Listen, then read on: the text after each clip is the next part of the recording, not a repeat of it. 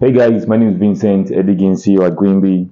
Um, so we do this thing regularly. We gather um, old and um, pieces not in use and we refurbish them. Pieces like this. This is going for refurbishment. Uh, what is here is six refurbished PCs and they're going out to a school in Benin City.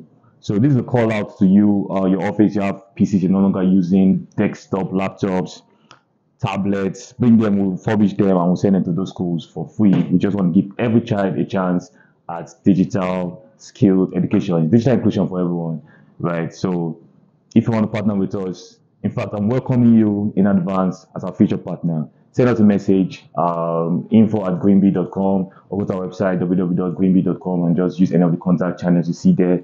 Let's create this digital inclusion all over Nigeria and you see what the next 10 years will hold.